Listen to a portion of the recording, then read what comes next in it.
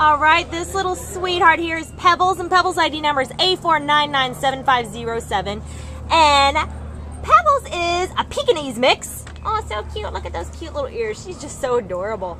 Um, she is actually about 10 years old, so she's a little bit of a senior gal. She came in as an owner center on September 28th because her owner no longer had time for Pebbles.